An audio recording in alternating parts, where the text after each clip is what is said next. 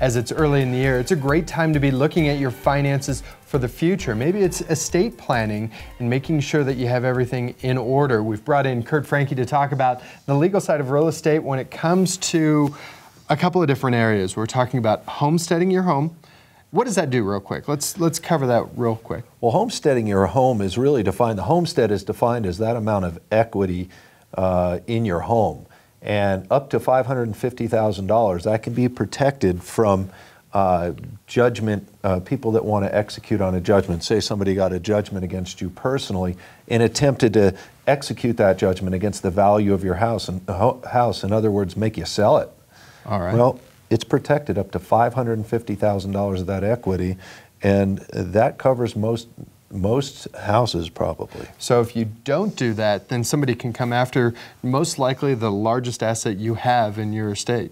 And that's exactly right, and, I, and, and it protects it from a variety of creditors, and it's a very simple form to file. So it's very inexpensive and it makes a lot of sense to do it. All right.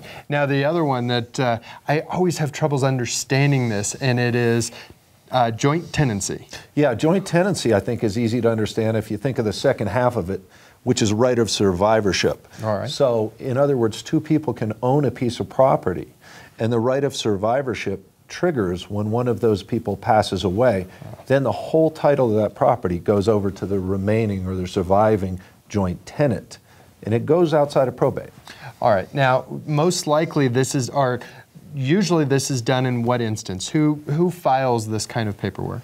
Most often, probably husband and wife. And in fact, that can be called community property with right of survivorship. But often, parents will go into a joint tenancy with their children over the, the house, which is the largest asset, and thereby avoid probate of that asset and, and possibly probate at all because that's usually everyone's biggest asset. And making sure that, say, that family estate stays within the family. That's right, and that's also a tool to do that. All right. We don't have that as often out here, out west, as they do back east, where people have lived in the same family home for generations.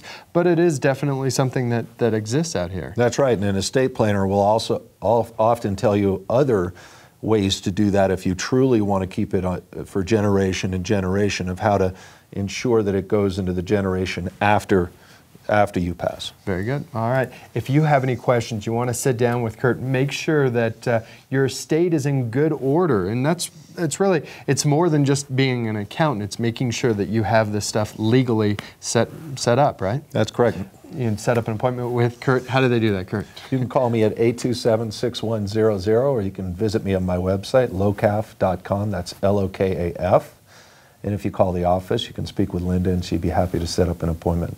It's that simple.